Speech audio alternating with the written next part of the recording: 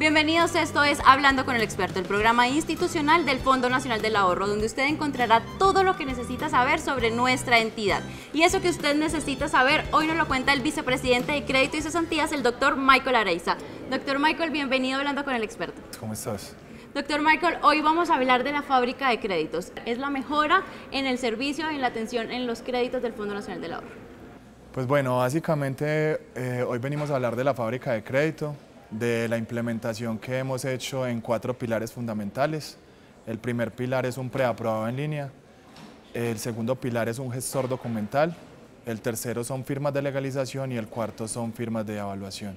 Bueno, entonces hablemos del preaprobado en línea. ¿En qué cambia con lo que había anteriormente? Pues básicamente nosotros antes teníamos un preaprobado que no contaba con validaciones tanto del score del producto que tenía que tener el afiliado, sea afiliado por cesantías o afiliado por ABC.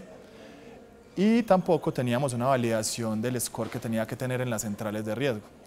Entonces básicamente lo que hicimos fue eh, montar un preaprobado conectado con estas validaciones dentro de nuestro modelo en la base de datos y dentro de las centrales de riesgo, buscando así tener las validaciones al, al ingresar por parte del cliente a la aplicación Fondo en línea, que es donde hoy tenemos habilitada nuestra aplicación, y diligenciando una información de ingresos y egresos, tipo de solicitud de crédito que quiere realizar y sistema de amortización.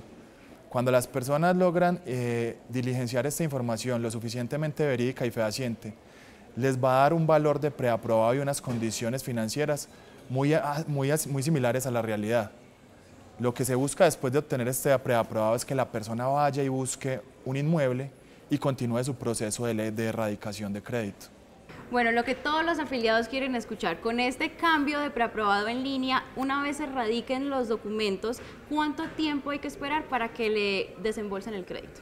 Bueno, la erradicación formal del crédito se da una vez el afiliado acude a un punto de atención y eh, diligencia el, formulario con su firma y su huella.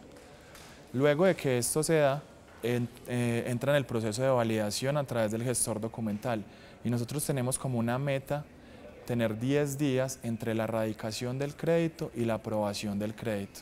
Doctor, y eh, específicamente en los tiempos de desembolso, ¿cuánto se están demorando actualmente y con la fábrica de crédito, cuánto se demoraría? Definimos una meta de 25 días máximo. Entonces, si tú sumas los tiempos de aprobación desde erradicación hasta aprobación y desde avalúo hasta desembolso estaríamos hablando de tiempos inferiores a los 45 días, que es lo que estamos manejando como meta en la fábrica de crédito.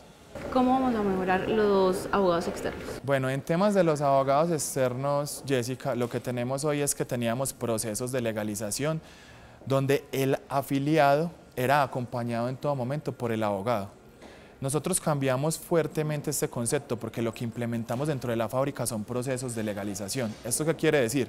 El afiliado tiene que ver al abogado solamente para firmar la escritura y mientras tanto va a poder consultar a través de medios diferentes al presencial cuál es el estado de su trámite.